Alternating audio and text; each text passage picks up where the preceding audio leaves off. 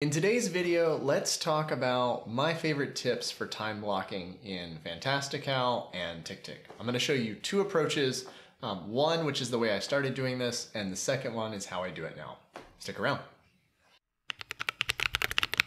So let's start really quickly by talking about what time blocking is and why we might want to do it. So at its simplest form, time blocking is holding time throughout your week for the non-meeting related things that you need to get done. So let me pull up my Fantastical. So obviously your week starts with a handful of meetings and a handful of errands. And then these white gaps are the rest of the time that you have to get the strategic work that you need to get done with the week. So time blocking is basically holding time on your calendar for non-meeting related things to get the work you need to get done done. So task number one. And at its simplest form, this is how I got started with time blocking. At the time, I was using Things 3. And so what I started doing was I started putting all of my design work and all of my product work on my calendar as calendar events. And it actually worked pretty well. I think there were, were two key problems that I ran into when doing this inside of Fantastical. Um, the first of which is um, this is a very hardcore form of time blocking where when other people on your team look at your calendar, um, you always look booked. Because basically, what I would do is I, my most productive time of the day is early on, and so this time block from about 9.15 to noon is when I'm most productive and when I, I want to have my design work planned for.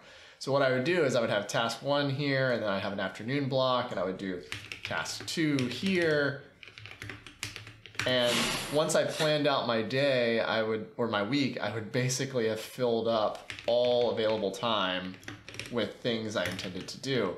And the side effect of that is your teammates can't see what of the time is um, hard, as in it can't be moved, and what of it is flexible. And so like these meetings are, are relatively rigid and, and difficult to move because they have other people involved. And then the, the time blocked pieces are actually reasonably flexible. And uh, from team members' perspective, they couldn't tell the difference and it just always looked like I was busy. And so in some regards, that was a good thing, and in other regards, it was bad. The, the positive was that time was definitely blocked and people wouldn't schedule over it. Um, but at the same time, if someone had a meaningful discussion that they needed you for, they, they really couldn't figure out a good time to do it. And so this worked okay. The other negative side effect of this was in Fantastical, for whatever reason, if you have the iOS app, when you would move one of these things, so let's say something happened and either I didn't finish task one um, or I needed to move it. So let's say I would slide task three over, I'd move task two here. Eh, it's glitching out a little bit, but let's undo that. It's definitely freaking out. So I'd move task two here and I would move task one here. The issue I would run into is I would still get iOS notifications um, for task two at 2 p.m., even though I'd already moved it.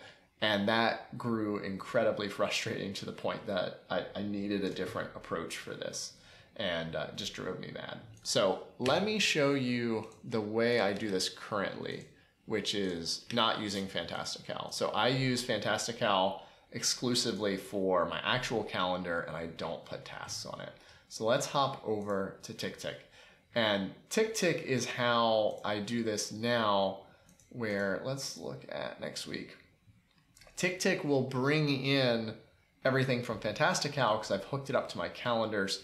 Uh, let's see if we if you want to see how to do that, you can go over to this dot dot dot and go to calendar subscriptions in my case, I found that the local calendars, um, at least as of like six months ago, were more reliable than using the Google ones. I found that they would kind of flash in TickTick for whatever reason, and uh, I just got tired of messing with it, and I just switched over to local calendars, and they've worked reasonably well. So I've got all of those meetings from Fantastical inside of TickTick, and now what I can do is I can drag my tasks onto my calendar. Um, so let's say, so usually what I'll do is um, when a new task comes in, it'll come into the inbox, it's by default unscheduled, and then before it leaves the inbox, I'll put at least a day on it. I, I usually won't put like a time range on it, I'll just set a day, And then that will bring those tasks up to the top like this, and then I can drag them onto my calendar accordingly. And then over here on the right, if you tap on this arrange tasks, you can see your unscheduled tasks here on the right. And so basically what I need to do is if I do have intentions of doing these things on these days, I would basically drag those out into specific time slots. So um, this yellow is for outreach. So let's say, I, I, talked to my mom today. It's okay. We can uh, chat with her later. Um, and then I need to get back to Julie about something. So let's say I've got a nice little time slot here. And what I'll do is I'll just drag this for the amount of time I think it'll take. So I think it'll probably take me about 45 minutes to dig into that and I'll move the OTC prep down just a little bit. And then um, this already happened, so I'll just mark that done. And then I need to go through YouTube, so I'll do that after work. I'll do that there. And so that's all it really is, is just dragging those things in. And so now I can still see how full my calendar is like I could in Fantastical, um, but I have the added benefit of my calendar being accurate for both myself and for those who need to schedule time with me. And so then I can go in here and, and, and make these things realistic of how long these are actually gonna take. I'm gonna work on this before work. And then uh, let's see, I do need to do this. Maybe I'll do this on Wednesday. And that'll take me about 45 minutes. And so I can fill in these little gaps with realistic expectations of the things I can do during those times. And that's how I do time blocking. Hey guys, before you go, if you enjoyed the video, please tap the like button if you didn't, then that other button works too, and you can help me out a ton by subscribing to the channel. Thanks. Have a great day. Peace.